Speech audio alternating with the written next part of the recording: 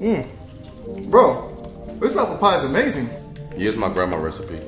Your grandma made this? Yeah, she make it for me every weekend. Can I have your grandma's phone number just to text her thank you, please? I guess. Thank you. Gwendolyn, you got the best apple pie that I ever tried. I ain't never lied when it comes to this. I know this might be weird cause you're my best friend's grandma. But I wanna make love to you on the beach in a hammock. Wait, what? Did you just say you wanna have sex with my grandma on the beach? Wait, no. That's that's weird. That's not even something I would say.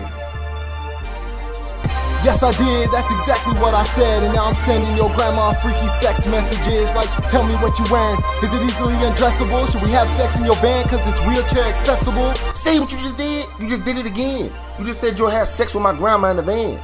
No, bro, that's not even close to what I said. I, I'm not even texting your grandma right now.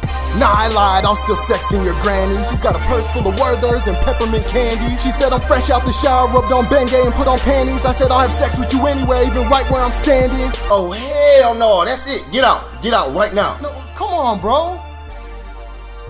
You got me all messed up. Grandma.